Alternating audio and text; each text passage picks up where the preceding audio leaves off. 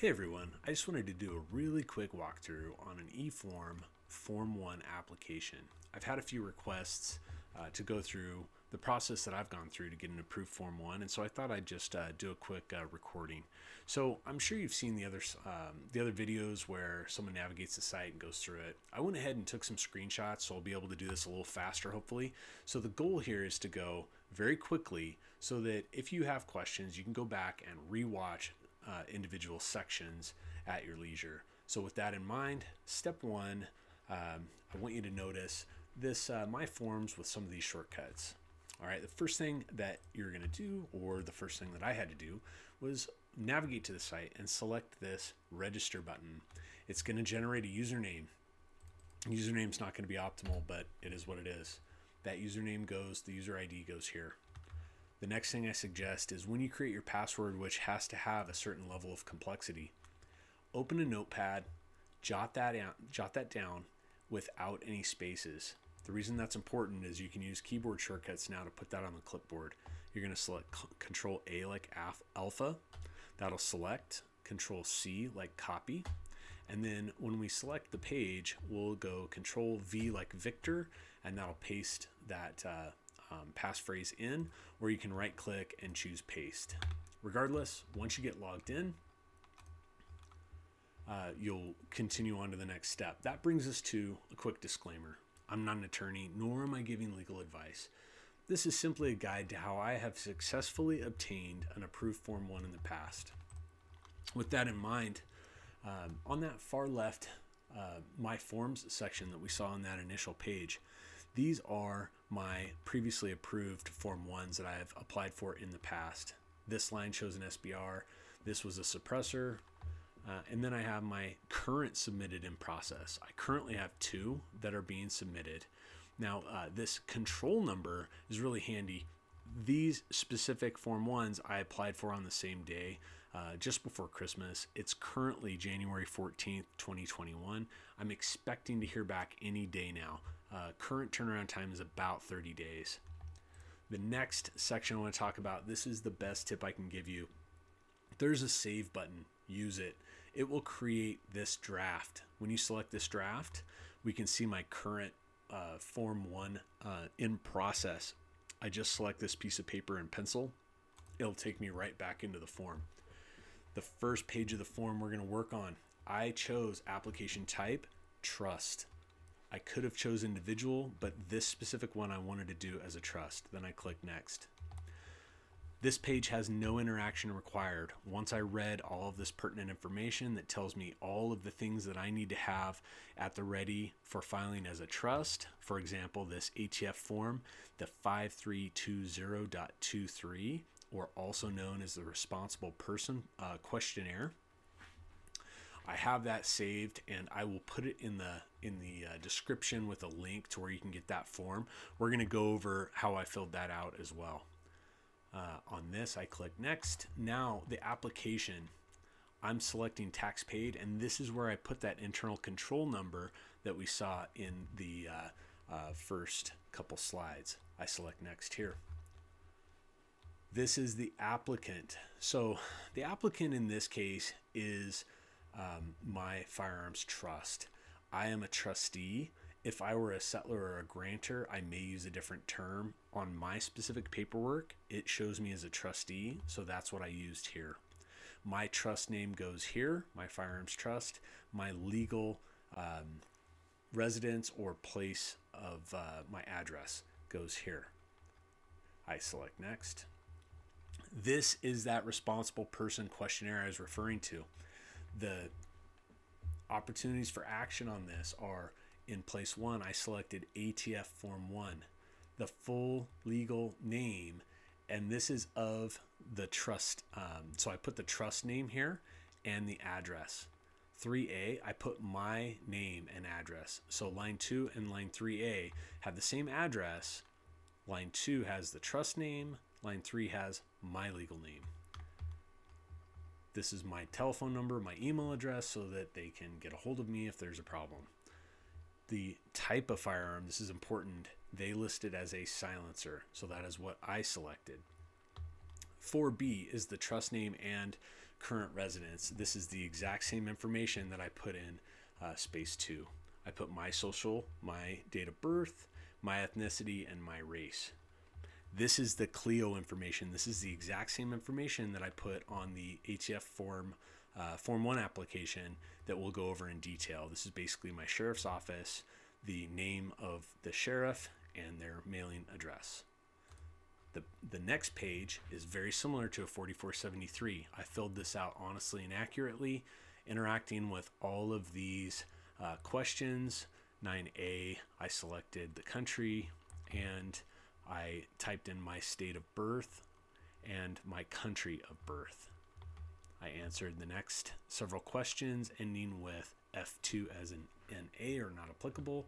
10 I left blank, and 11 I selected no. I then signed and dated, and that's all the action that was required on this page. Now, uh, on to the responsible person portion of the Form 1 application. This is where I need that responsible person file. So um, that's where I would upload it. So working left to right, I selected United States citizen. This title actually transferred from the application uh, page. It auto-filled for me. If it doesn't, you may have to put that in, but that's what that title is. First name, my first name goes here. I do have a legal middle name, so I selected full middle name. I, I typed my middle name here, and then I put my last name, my contact information, and then this is where I browsed back to where I'd saved that responsible person form. So I chose to fill that out and then scan it and save it as a PDF. And then I also took a passport photo of uh, um, the standard passport photo guidelines with a closed mouth, um, closed mouth smile against a white background. Social security number, I put my actual social security number, no dashes, no spaces. And then this typically has a slider bar. So the next is the rest. So here's the slider bar. We're now to the far right. Here's the social security number. This is my current address information, my date of birth, birth country, birth state, state of residence, sex, and race. I do not have a UPIN, so I left that blank. Birth state, I actually need to select that, but the page actually crashed when I was trying to get this screenshot. So uh, pretend that that says the current birth or my actual birth state. All right, on the next page, responsible persons. Now we're on to the CLEO. Now, uh, each page, I would definitely recommend using that save button because then you can quickly uh, recover and take over. So this is where you, I put my local sheriff's agency. I put the sheriff's name, John Doe, Jane Doe, the title, sheriff, and the mailing address, including zip code, state, city, and county. I click next. This is where I enter the line item. So I'm going to select add firearm. This is going to generate a pop-up. When the pop-up finally uh, completes, the manufacturer name or manufacturer code I can select Form 1 registration or manufacturer code would be FMI. Either one will get you there. If you click verify manufacturer and this pop up generates the manufacturer validated successfully, this will autofill and complete. Select OK, select the manufacturer's country, which is the United States, and select next. Product type, there are many products in this dropdown. I selected silencer.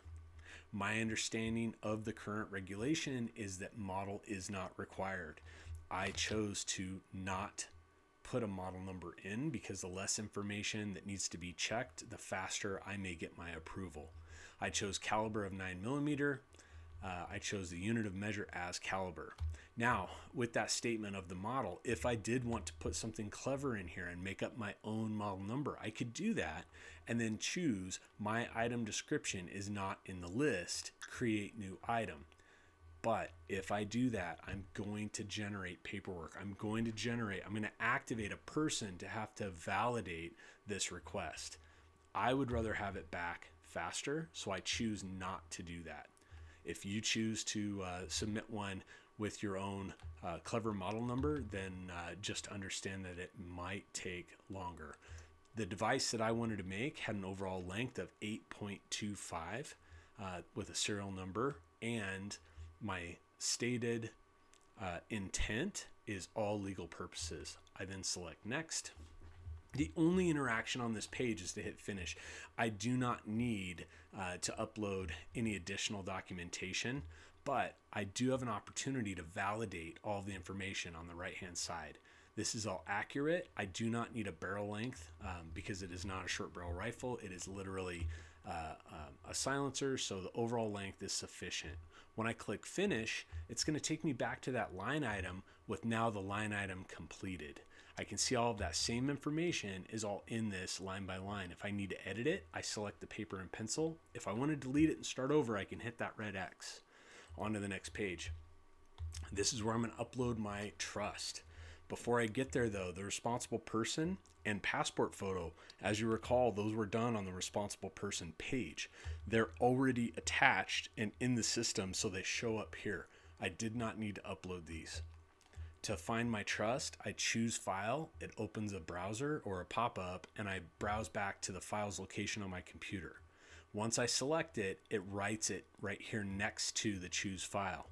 I then choose the document type, corporation trust, other legal entity, and I chose to put a description of NFA trust. Once I hit add, it's now a line item down below those others. The NFA trust is where I put the description, the document type was selected by the dropdown, and the file is what I'd selected, showing the file size here if I wanted to validate it.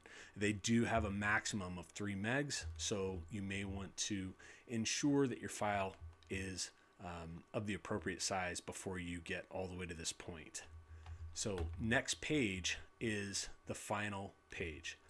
Once we're here, I had to certify to select this uh, checkbox in order to hit pay. The next hurdle that I see people have problems with is browsers have a pop up blocker. So once I hit pay, then you may see, or in my case, I saw a pop up blocker. So in the upper right hand corner of my browser, I selected this icon and then I chose always allow pop ups from the current website. And then when I select done, it's going to take me right back and show me that pop up. And if it doesn't pop up, I could simply hit the pay icon and uh, generate that pop up again once I've allowed the browser to have pop ups. So, um, this is a clearinghouse for the uh, pay.gov. So, I entered all my current billing information, my credit card number, correct expiration date, security code, all of that. The last place I see people have trouble is this may clear, but the credit card company may actually decline the payment if they don't recognize it or approve it. So be mindful, you may have to follow up uh, with your actual credit card company. Once I hit continue here, it's going to take me back to another pop up letting me know that I should have just been in a pop up.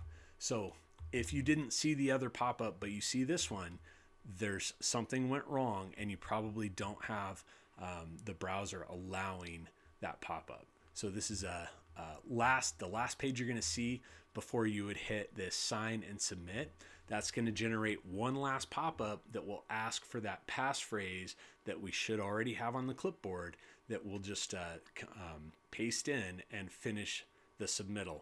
Once you hit finish, and I apologize, I don't actually have um, that last page as a um, as a screenshot because I haven't paid for another um, Form 1 at this time. I may do another one and document like an individual or something like that in the near future. But once you hit submit, on that last page, you're going to receive, in my case, I received this email within seconds of that submittal. So it gives me instructions on my cover letter and what to do um, with. So this is this form is actually. Let me start over. I apologize. The cover letter. I'm going to need to print both of these. The cover letter goes with my fingerprint cards. There are instructions. I need two fingerprint cards to mail back to the ATF. This is a copy, a CLEO copy of the Form 1 registration that needs to be mailed to the CLEO. All right, guys, I've got nothing else. That should conclude a pretty decent walkthrough of the Form 1 process. Let me know what you think in the comments. I tried to go fast. I tried to keep it uh, on on topic and uh, and as efficient as possible. Hit up those comments. Let me know how I can improve or uh, um, tell me what you want to see next. Thanks. Have a good one.